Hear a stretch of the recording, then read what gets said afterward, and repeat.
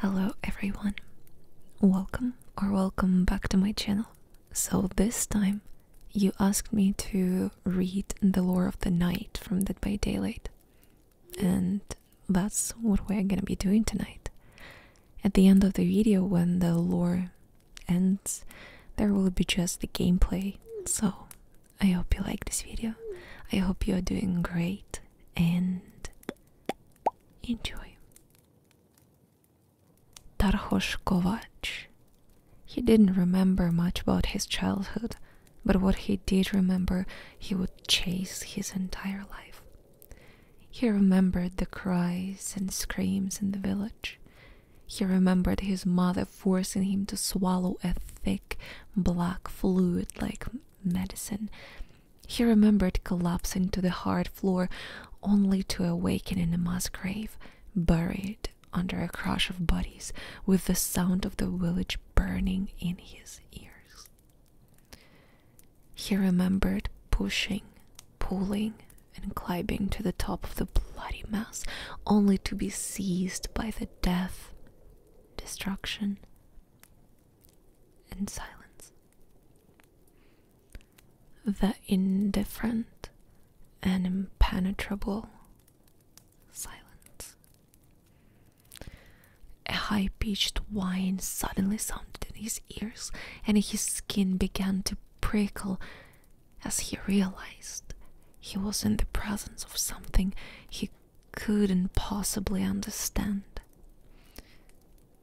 And though he couldn't articulate what he was experiencing, he knew it wasn't pain, grief, or fear. It was something else, something closer to awe. As Tarhos tried to make sense of the moment, he didn't notice the man who approached him from behind. He didn't even react when they carried him off to a horse drawn buggy and locked him up in a small wooden cage with other slaves. He just stared at the scene, mesmerized. And even as they rode away, telling him he was headed for Italy, Tarhos stared through the wooden cracks with eyes wide open and a heart wanting to understand what could not be understood. From that day on, Tarhos belonged to the Guardia Compagnia, where he trained under Kadir Hakam. There he learned to wield weapons, forge armor, and recite a code of chivalry to obediently serve those who would employ his services.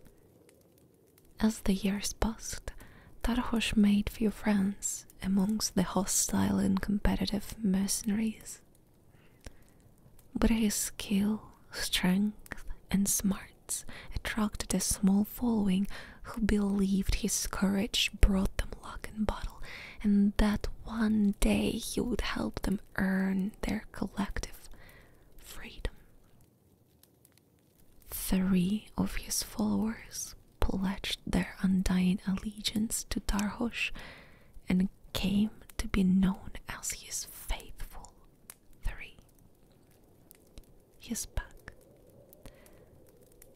Alejandro Santiago, apprenticed with the Guardia Compagnia's armorer.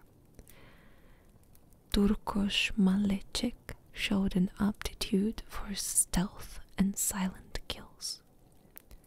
Sander Raoult matched Tarhos in size and strength, his weapon of choice a massive battle axe.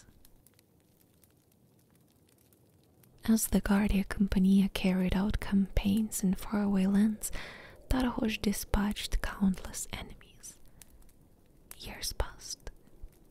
Blood flowed, and yet all that killing still didn't bring Tarhos closer to what he had experienced in his village. Nevertheless, for his bravery in battle, Tarhos was granted knighthood and freedom. The Hungarian slave was now liberated. his brutality rewarded, though his heart still longed for something else, something he could not name or describe. Tired of taking orders from those he considered his inferiors, Tarhos left the Guardia Compagnia to strike out on his own. Their leader, however, refused to release his followers. Determined to raise enough gold to liberate his followers, Tarhos found employment with a wealthy Italian lord.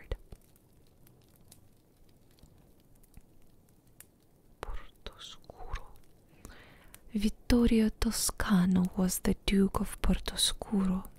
He was also a scholar, a world traveler, and a collector of ancient knowledge that had been hidden by an unknown cable of mystics. Tarhos joined Vittorio's latest expedition to find a fragment of a pillar from an ancient school lost to time. A stone Vittorio called the Lapis Paradisus, for he believed it held secrets to open a gateway into a perfect world beyond good and evil. The expedition searched Roman ruins in France and crossed the Pyrenees Mountains into Spain, where the path led to the catacombs beneath the Portuguese city of Sintra. The citizens there considered the catacombs sacred. Tarhos would have to kill the villagers guarding the entrance to retrieve the stone. Not wanting to shed blood, Vittorio commanded Tarhos to find another way. But Tarhos, who had seen the most horrific acts committed under the guise of chivalry, refused to be dissuaded by pretenses of honor. He waited for Vittorio to ride back to camp. Then, with a mighty roar, he pushed forward, cutting a path of blood and gore into the darkness until he had the stone in his grasp. Upon returning to the town of Portoscuro, Tarhos imprisoned Vittorio in his own dungeon, demanding to know the meaning behind the symbols etched in the stone. When Vittorio refused to talk, Tarhos brutally tortured his friends and relatives and made horrific displays of their bodies in the streets. But nothing he did shook Vittorio's resolve to keep the secrets of the stone from Tarhos. Enraged, Tarhos seized control of Vittorio's riches and raised a small army. Within months, Tarhos fearlessly marched upon the Guardia Compagnia, decimating their barracks, freeing his followers, cutting down his enemies like twigs, and collecting their righteous heads for his growing displays of valor.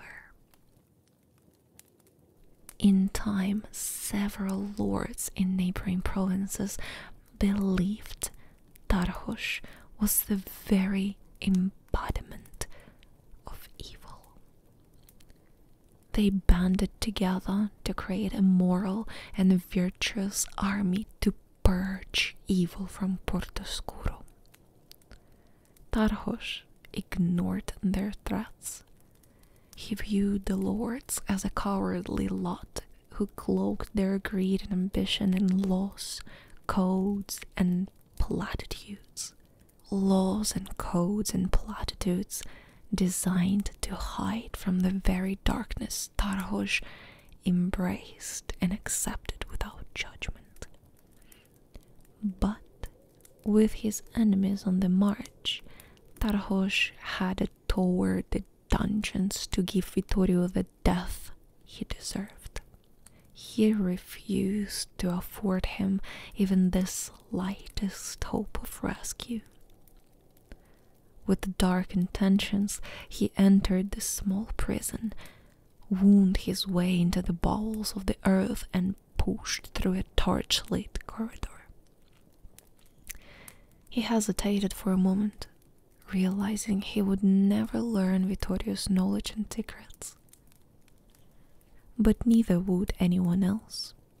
That was good enough for him, and so he unlocked and kicked open the dungeon door. Two quick strides brought him to an empty, rat infested chamber. Tarhos stood silent for a moment.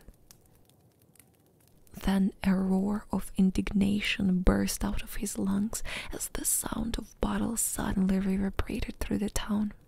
Instantly, he stumbled through the corridor, rushed up the twisting stairs, vaulted out of the moonlit doorway, and charged through pools of gleaming blood and viscera, smashing and shattering his way through the enemy.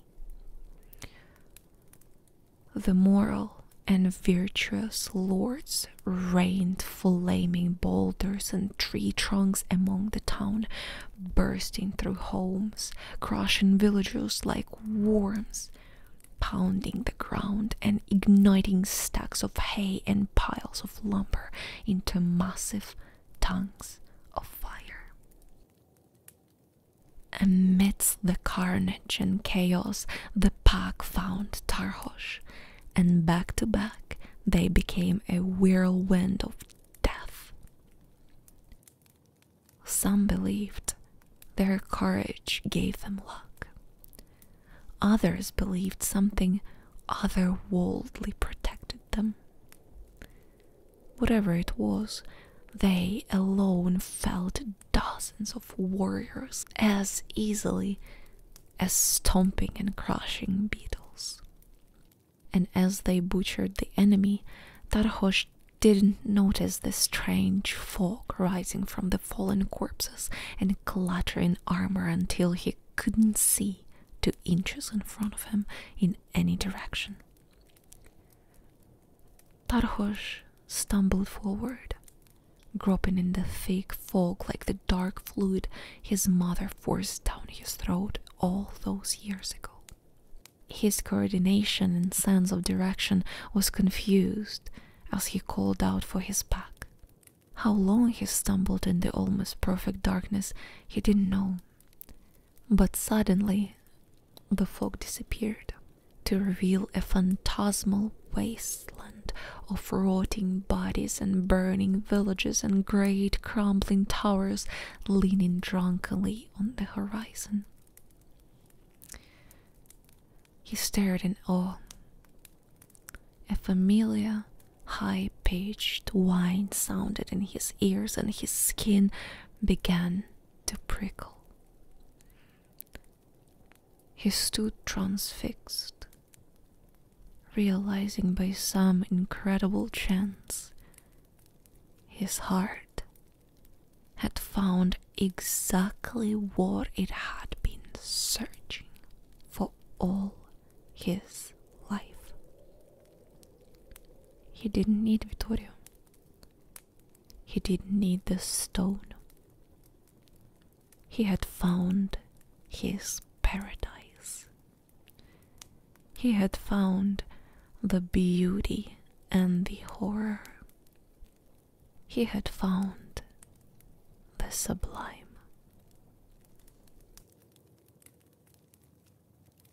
Tarhos Kovács, the Knight. He was introduced in chapter 26, Forged in Fog. The DLC was released on November 22nd, 2022.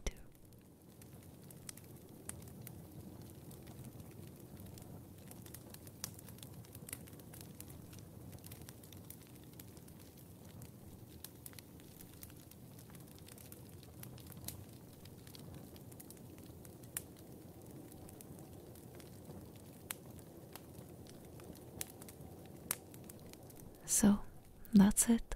Thank you so much for watching, and a huge thanks to our lovely members from YouTube Pigus, Eric, Delaney, Biffy Grandpa, Johnny, Snow, Lights and Loose, Satro, Voachito, will abuse.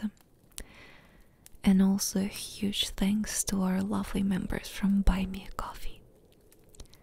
Vota, Austin, Dax, Satro, Sagan, Sabrina, Jessie, May, Rodin. Thank you all so so much for your support. Your support makes this channel grow and evolve. See you next time.